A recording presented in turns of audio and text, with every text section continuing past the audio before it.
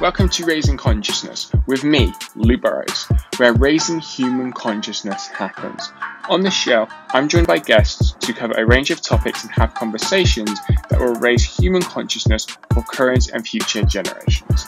Now, let's dive into today's show. Hi everyone, welcome back to Raising Consciousness. And today on the show, I'm very uh, excited to welcome Amanda Holmes onto the show. Amanda, thank you so much for joining me here on Raising Consciousness. Such a pleasure to be here.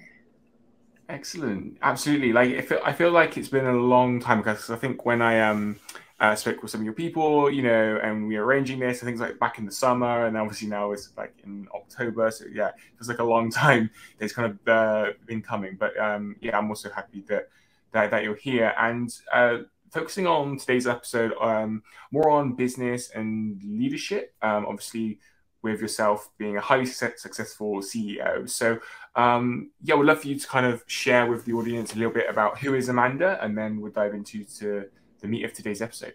Yes. Uh, wow. Well, um, my company, Chet Holmes International, has assisted a quarter of a million businesses worldwide. It was started by my father and he wrote one of the most adored sales books of all time. It's called Ultimate Sales Machine, which has 12 core competencies on doubling sales.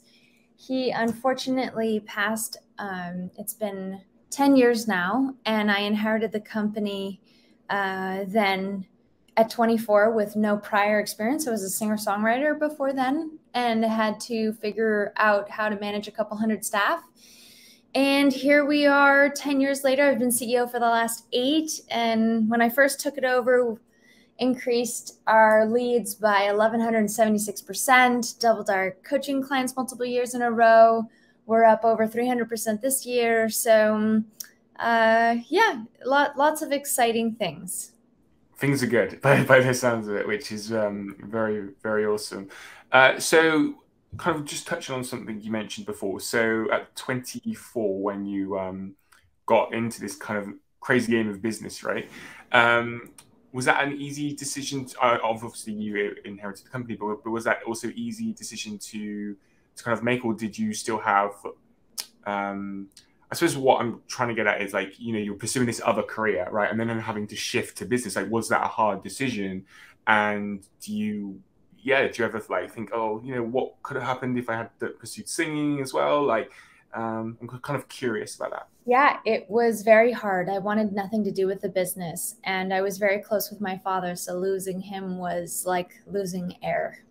Uh, and I really felt that if I stepped into the business, it would be like stepping into a grave next to him because he worked himself. He died at 55. It was way too young. So I, uh, yeah, lot, a ton of resistance. But I study under an Indian saint. Her formal name is Sarvalokama, Her Holiness Sri Sri Sri 1008 Guruji Punamji. I just call her Guruji. Uh, the name is very long in its significance. Um, and she was the one that just kept telling me that I should step in and that I could step in and that it would be best if I carried on my father's legacy. And so here we are today. Yeah, so like um, obviously having no um, business experience prior, like what was some of the first things that you realized that maybe needed to change in your own life, or like from a mindset perspective, or what were some of the things that you, you know, you kind of realized in the early days that beforehand with no experience, um, kind of you know brought more awareness to it, more more consciousness to it. Yeah, I um I kept hiring and firing different C suites. So I hired a couple of CEOs, a CTO, a CMO, uh, a CFO, just trying to fill that void that my father left behind. And um, uh, one of my staff had said, You should come to Africa. I'm climbing Kilimanjaro. Uh, you'll have a great time. You should come. And I thought, wow, that's sounds epic. I think I would love to. So I said yes on a Thursday, and by Monday, I was on a plane to Africa to climb the largest freestanding mountain uh, in the world. And it was on that climb that I realized that it felt insurmountable that I could reach the top of this because from day one, I had altitude sickness. So I felt terrible the entire way, uh, nauseous and headaches. And by the, the last day, Uh, I had two African men like practically carrying me. My eyes were rolling to the back of my head. A gentleman actually died the day that I summited, so it was rather rather intense. Um, but what I learned from that whole experience was I was able to walk above the clouds in one of the most magnificent, you know, mountains in the world, all just one step at a time. And it's not like I was going to take over and know everything all at once in the business. It was just going to take one day at a time. And another thing that I realized is as much as I wanted to be my own and be strong and do it my by myself, I literally wouldn't have been able to summit if it weren't for the people that supported me, like literally practically carried me uh, the last, well, not the, for a, a decent amount of time. They were keeping me from falling off the mountain. So that was another realization for me that it's okay. I don't have to have all the answers. I don't have to carry this alone. Uh, I have a team. I have a bunch of people in the organization that can assist me and guide me. Uh, I just have to lean on them and put down my ego to say, I can do this all myself. I can't. And that's okay. Yeah, I think that's very, um, you know, important, you know, of, of us kind of allowing that, uh, kind of separating, our, separating ourselves from our ego and allowing us to, you know, accept help or, you know, work with other people as well. And what's been the like single single biggest lesson you've learned from having a team? I think you said like it was, it was over a hundred people. You know, it's like obviously you don't manage every single one. I'm sure you have head of HR or, or other you know team in place to kind of uh, obviously operate. But yeah, I'm just kind of wondering like the day-to-day life of running a, a huge company like that. Over the years, I've done a lot to make the business mine and recognizing that I honor my father and everything that he built, and we still teach his methodologies. But the way that he operated was different from the way that I operated. Not that good or bad, it's just different. I think he was uh, a bit more of a fighter, and I'm a bit more of a lover. So the people that I started finding myself surrounded by were different than who he wanted to surround himself with. And um, so over the years, I've done a lot of changes to make uh, the culture different. Um, for instance, I my business coach, so we do business coaching is one of the things we do, and so I'm a I believe that you should be a product of the product. So if you have business coaches, you should have a business coach. So I do. Uh, Jerry McNamara, who is brilliant, um, and he has done a lot to help guide me around culture and core values. And some of my core values are like grace to, because grace can take you to places hustling never could, and beauty to leave things, uh, to see beauty everywhere you go and to make things more beautiful as you leave. Uh, which I don't think these kinds of words would have been used by my father necessarily, but they're my words. And uh, I have yeah really changed the group that are around me now and it's and i start first with is is this person a culture fit and if they are then do they have the skill sets necessary to what what we need to you know be a rock star as a part of this team so it's smaller than it once was um, but more defined and uh, a very positive uplifting culture which feels how, good because yeah, i didn't yeah. inherit that kind of building on that, how important do you believe culture to be? I I wouldn't have it any other way. So when I first took over, I had a lot of issues with with staff, um, a lot of lawsuits, and I found very quickly that if there's money, people will attack and whatever it takes, they will go to the lowest that they possibly can to grab and steal and manipulate. And um, after I, you know, calmed the ship and got everything into a place of stability because it was quite volatile for several years. Um, I really had to take some time off. I spent a lot of time at Divine Bliss International, which is a nonprofit that my guru created because uh, I really just needed to. I had lost faith in humanity, and uh, I thought that business was about backstabbing and cruelty and ego and and manipulation. So I really didn't want anything to do with it. And it and it took about two years of me listening to or talking to more plants than people to kind of gain another love of I had to heal. So um, that took some time. And then when I came back, I said, okay, you know, if if I'm doing this, I can't have it any other way. So to me, culture is critical to the life that I want to live.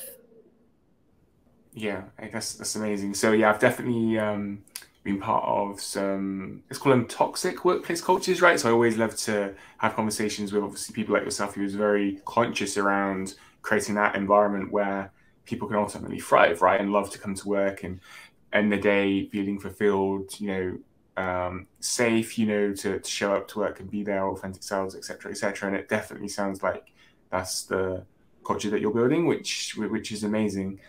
In terms of like values, as you've mentioned, like grace and and and others, because of that more traditional association with business about being about hustle and kind of you know all of these stigmas, I guess. I find it fascinating, but also interested, you know, for you to kind of, I guess, open it up and kind of share more about this and like how you've still been able to grow the company, you know, and still be able to um, thrive, you know, ultimately with values such as grace, which historically like you wouldn't put grace and business together, right? so like I'm, I'm curious like to to like learn more about maybe like your, your mindset around that and like how you see it and, and how you incorporate that within your company as well, um, if that makes sense.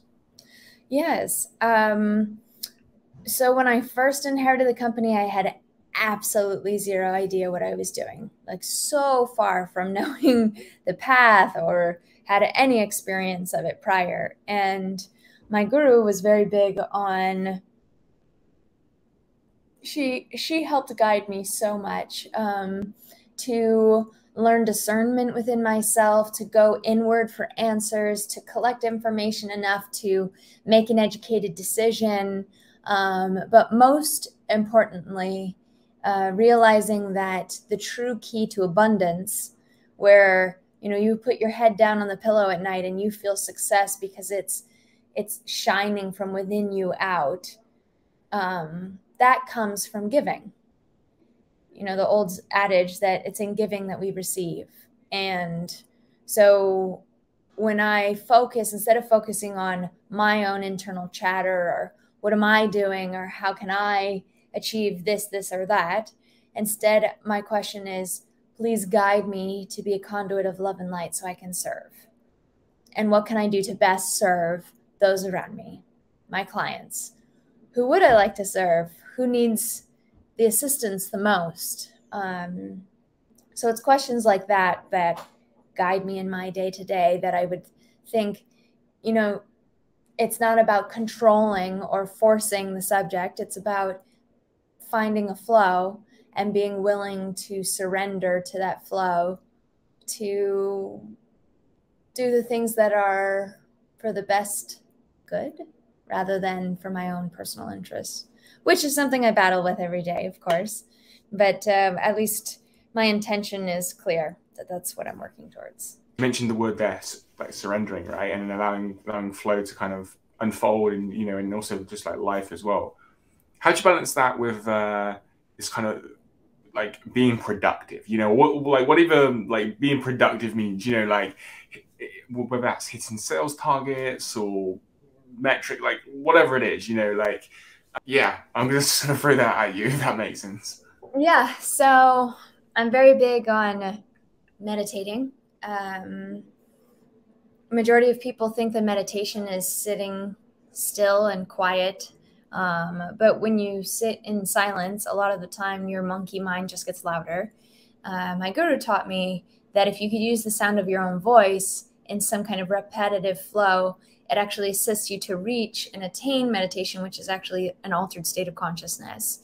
So I will either sing or chant or play my guitar uh, for a certain period of time, and then I'll go into planning my day. So I need to take those moments, and even in between calls, I'll I'm within arm's distance of my guitar right now. This is my guitar. Uh, I'll pick it up and just start playing just to get out of my own head and get connected. So I'll do that, but then I'm still also a stickler for, you know, my my father taught time management secrets of billionaires because he worked for a billionaire by the name of Charlie Munger and he doubled the sales of Charlie Munger's nine companies all within 12 to 15 months instead of of them multiple years consecutively and it's those six steps that can increase your productivity by 500% that I use um, every day. Uh, it's just, I make sure that I leave time to meditate throughout the day so that I can get back in alignment, but still very, as my father would say, pig headed, disciplined, and determined to follow my time management. No, so I've uh, been taking like a program all about intuition, and one of the things that came up is around you mentioned it there. So whether it's music or dance or just something to bring you back into the moment.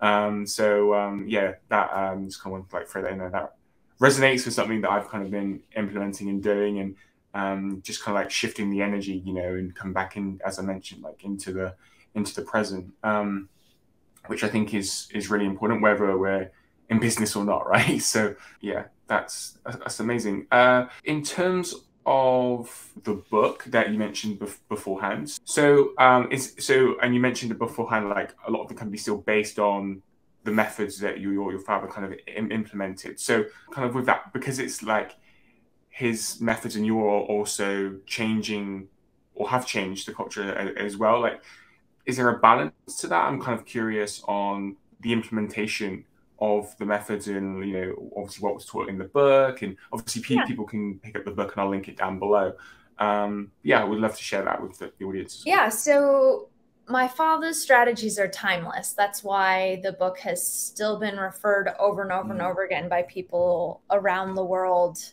um, for nearly 15 years. That's just pure word of mouth. People love it so much. So that speaks to the timelessness. However, uh, he talked about the yellow pages and cold calling and faxing. And so it's just the tactics that have changed and adjusted. So uh, when I updated the Ultimate Sales Machine, I had to um, put in some more, you know, recent uh, updated tactics like and not just talking about a radio, but I actually took my father's radio ads that have generated us tens of millions of dollars. Uh, I repurposed them and put them on Facebook ads just to prove that the message can stand the test of time. And it did. It actually uh, decreased my um, cost for ads um, by 30% using his his radio ad that was 20 years old. So um, yeah, strategies timeless. Just the tactics that have changed is is how I've adjusted. How he used to get through the gatekeeper on a cold call, I'm now teaching on Instagram DMs and LinkedIn messages. So. And is there? I'm sure all of the lessons within the book are very important, you know, and um, as important as each other. I guess that's what I'm trying to say. But for you, like, is there one that stands out a bit more than, than, than the others or not really like there are a ton of nuggets in there uh, you haven't read the book right no i haven't no I, i'm, I I'm curious i i could tell because every single page is literally mm. gold of like people get the audio and they go oh my god i need to get the book because i can't hmm. just mm. listen to this i have to take notes and i can't tell you how many people have shown me just they just stopped highlighting because they highlighted every every paragraph.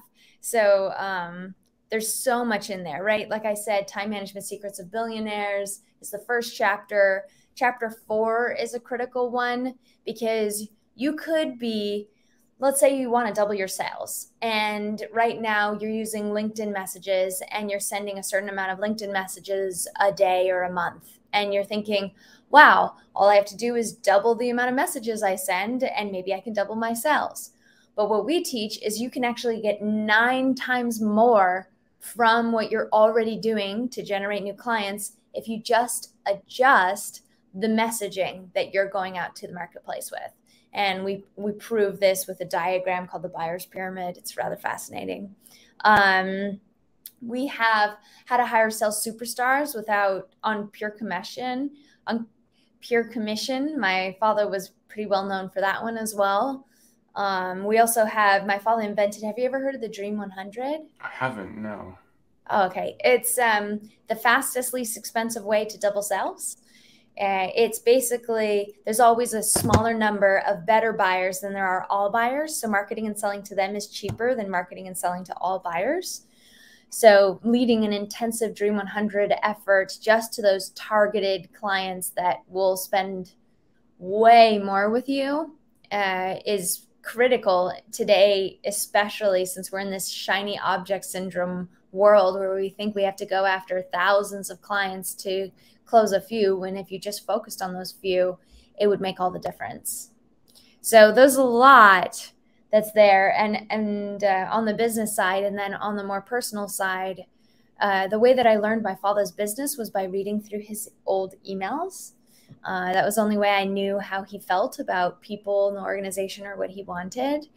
And I found this email where he said that he generated more wealth in six months than the prior eight years combined. And it was because of this one thing. And I took that and I put it in the final chapter and I called it The Encore My Father Never Got to Give and How to Live a Rich and Full Life. So that's also in the book.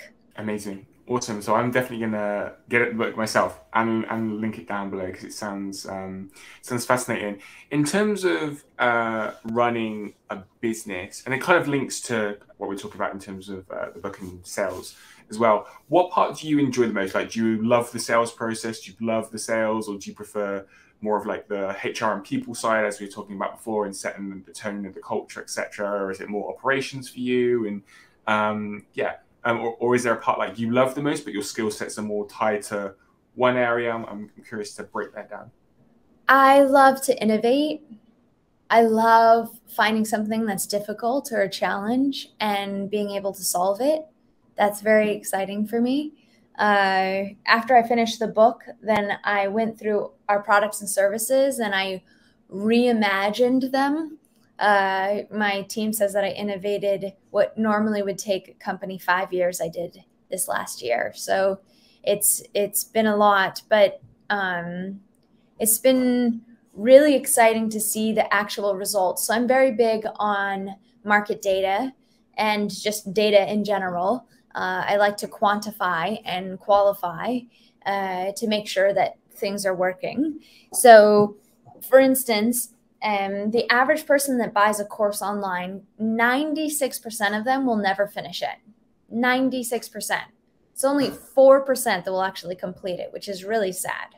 So I started running these boot camps where it would be interactive, live, you know, over the internet, and I would bring a bunch of companies together, and they would all go through the process and the um, the teachings together. So in a month's time, um, 42% of the people that went through the boot camp generated leads and 32% generated sales, which a lot of my clientele have a much longer sales cycle than just a month. So even just having a third of it was really impressive for just 30 days. But if we look at the industry standard, right, it's 4% just completing. That's not even counting people that are actually getting results. I'm tracking results and we're getting 10x industry standards. So I'm that really thrills me to actually see i'm not about you know just talking to talk i want to actually see that people are getting the results they're benefiting from it and they're able to um, grow and achieve the dreams and goals that they're looking to achieve so that that i think is my most exciting thing is seeing seeing the organizations that we've been able to touch that's amazing and these uh, organizations that come to you, like, what is their, uh, well, like, what type of organizations are they? Like, what uh, what's their biggest challenge? Like, is there a trend you're noticing? Uh, I'm always like fascinated by by trends and stuff. Yeah. So since we've assisted a quarter of a million businesses worldwide, it's really across the the board. Um, I mean, I have everything from like high end door handles out of India to uh, pop up biohazard labs in third world countries to uh, SaaS companies, to manufacturing companies, to financial services companies. Right now, every time a trend is happening in the industry, if if one industry is taking a hit or it's going through a lot of change, typically they'll start coming to us in volume, which is fascinating to watch. So right now, I've gotten more real estate companies to ask me to keynote in the last 90 days than I have in the last like six years. So because of the interest rates rising and and so much uh, uncertainty around is this 2008 happening all over again? Is that where we're headed? Uh, a lot of real estate companies have been knocking, but um, they all pretty much share a similar desire to want to generate more leads and double their sales. That's usually pretty typical. Yeah, I mean, um, if there's uh, a startup entrepreneur or you know, somebody who was in the situation that you were in back at the age of 24 what would be like for everything you've you've gone through you know starting or knowing nothing about entrepreneurship or business to where you are today um, what would be some words of wisdom or some inspiration that you would share with them? Yeah i would say be honest. If you don't know the answer that's okay um, ask a ton of questions because you're not, it's okay that you don't know. People will respect you more if you ask the right questions rather than just trying to have the bravado like I know what I'm doing. Um, I I saw that more people gave me more respect the more questions I asked because it showed that I did have a propensity to understand what was happening and uh, I was asking the right questions and good questions. So it's if you're trying to impress somebody, it doesn't always have to be with the way that you answer a question. It could just be the question. So yeah, like um, be curious. I'm kind of getting from that. Interesting. And so in terms of like asking the right question, right? Like if if somebody's like, well, what's a right question, Miranda? You know, I d- I don't know. You know, um, do you have like maybe an example or Um,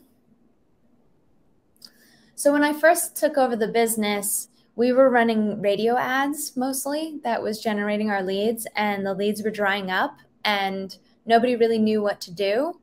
Um, we were still running my father's voice in ads for seven months after he passed. It was really embarrassing because we didn't, nobody on the team knew what to do we hadn't innovated. He was the innovator in the company. So when I would get on those calls and I finally got up the courage to actually start talking, I was just asking questions that were very clear to understand where are we at right now? Because when people get into panic, they don't think logically. And I was just logically trying to understand what was our cost per lead, you know, six months ago, a year ago? What's our cost per lead now? How much are we spending? Are we making an ROI? Uh, when do we break even? Um, what are our conversion rates? Uh, where are we losing conversions amidst each step? Right. So it's just dissecting and um, getting clear that you're trying to optimize your business. Right. So it, it I guess I really like that because I used to be a singer songwriter and that was very subjective.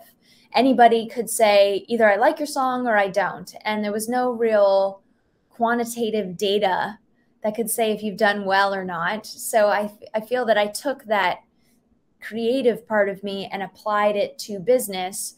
So I can still, from the same place that I would write a song, I now write a marketing or sales campaign. But now the validation is okay, what were my conversion rates before? Have they improved? What's industry standard? Am I higher than industry standard? What was my goal? Did I achieve it? Right? So, all of these steps that data will help assist you to quantify and qualify is critical. And majority of business owners don't do that. And they walk away from a great idea before it's come to fruit, full fruition because of either lack of focus or they're just not looking at the numbers. And why do you think that is? Like, do you think, yeah, like, is that fear? Is that like we don't have the systems in place to track everything? Um, I'm yeah. sure there's a there's like many different reasons depending on different, you know. But yeah, I'm just kind of curious, but from your experience, what like what are some of the top reasons? I would love to know why more business owners would have more dashboards and more systems to track. It boggles my mind how many don't. Um, there's so many tools today to make that really easy and simple. Um, so that's always kind of boggled my head, but it's very common. I, am not exactly sure why, but very common. I maybe also because 92% of companies don't have a sales process. So how are they going to track a process that they haven't put anything in place, right? They're just winging it. And when you think about salespeople, only 0.08% of colleges in the United States offer sales as a major. So where are they learning sales? Where are they learning how to conduct sales? Majority of them aren't. So they don't know any better. Um, whereas every step of the way should be tracked and measured. So probably because they don't have a roadmap for from cradle to grave or from start to from cold lead to closed business. Um, so if you don't have a defined process, then how, how, would you be able to track it? So I think it starts there. Yeah, that makes sense. Uh, awesome. Um, well, in the time that we have left, uh, do you have any final thoughts that you would like to share with our audience today?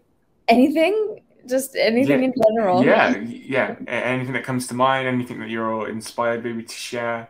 Um, yeah. I, I think it's critical to recognize that each person is individual of their own and we all have a different way to express ourselves, to think, to act. Our choices are our own.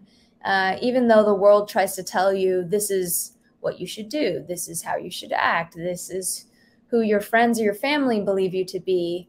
Um, however, uh, a lot of entrepreneurs at least experience this where they go beyond that because they're interested in growth and development and there's many people that will try to stop you from uh, growing or changing um, or evolving so I would just um, say, you know, be committed with pig-headed discipline and determination to be the best version of you.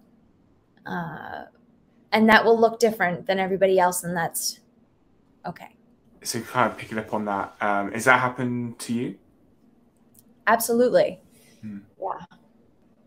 So, from my experience, um, you know, I find like so was that more uh, like it, uh, like school or just like in life in general? Because I, th- I think like having um, so from my experience, uh, obviously a lot of um, entrepreneurs that I kind of talk to, etc. It might be like their friends or you know their their, their family, etc. And I always find it interesting when people who I talk to have entrepreneurial parents, and and if that makes a difference, if that makes sense. So from your experience, like did that did that help or um, absolutely yeah a huge amount. Yeah. Growing up, it was always, you know, if I wanted to do a lemonade stand, my father would come out and change my sign from lemonade to best lemonade in the world. Mm. You know, or if I was running for student body, uh, he taught me tricks on how to go up on stage in front of the school and how to win them over. Throwing candy out, you know, getting their attention because what do kids want? Candy. Mm. Um, when I started my business or when I built my first website and how he guided me to make sure that the number one thing that your website should do is collect emails. That is the 1st mm-hmm. step so that you can continue to market to them. So what can you provide that's of value? So these these helpful hints he helped um, he helped me with along the way. So I would say that it definitely changed my perception of business and so, in terms of like when you're growing up with friends, etc., were they like? So for me, like no one knows why I do podcasting, right? Like I'm just you know go and do something normal, right? So I'm just wondering, like from your experience, um, if they were supportive or you know not, you know, um, and how you kind of manage that. Not always, no. Mm. Uh, some more than others. And um, I think also it's critical who you surround yourself with is also a pretty important thing. So, um, entrepreneurs are usually pretty lonely, and it gets lonely at the top for sure. So, uh, it's critical to find other people that are like minded. Um, then, you know, so many different ways to find community today, whether it be online or in a mastermind or in a meetup group or wherever it may be. But I, uh, I highly recommend uh, elevating who you surround yourself with, because that'll help. Yeah, I definitely agree. Well, Amanda, thank you so much for coming on to raising conscious, consciousness today. It's been a pleasure. I've learned a thing or two, which is always great. Um, so before I let you go and crack on with your day, where can people learn more about you, connect with you, learn more about the company, um, the book? Yeah, um, feel free to share where people can. Yes, can if uh, people would like to know what's holding them back from doubling their sales, you could go to howtodoublesales.com. It's just five quick questions, and then we give you free trainings on what you can do to double your sales the fastest. That's a great tool. That's howtodoublesales.com. If you heard everything and said, wow, I'd like to see the new edition of Ultimate Sales Machine, you could go to ultimatesalesmachine.com and get that book. Um, and then I spend, I'm on all the social medias, but I spend more of my time on Instagram. So you can find me at Amandita Holmes because Amanda Holmes is taken. So it's my salsa mm. name, Amandita Holmes. Amazing. Awesome. Well, I will link that all down below in the show notes um, so people can easily find can find all of the ways. But um, yeah, thank you once again for coming on to the show today. It's been a pleasure. Same here. Excellent. Well, guys, I will be back next week with another guest, another episode of Raising Consciousness. So I look forward to seeing you all and talking to you all then. Have a great week, guys. If you got value from this episode, found it insightful, or learned a thing or two, please leave a review where you can let everyone know that this show is worth checking out. I appreciate you so much. You'll be hearing from me in the next episode.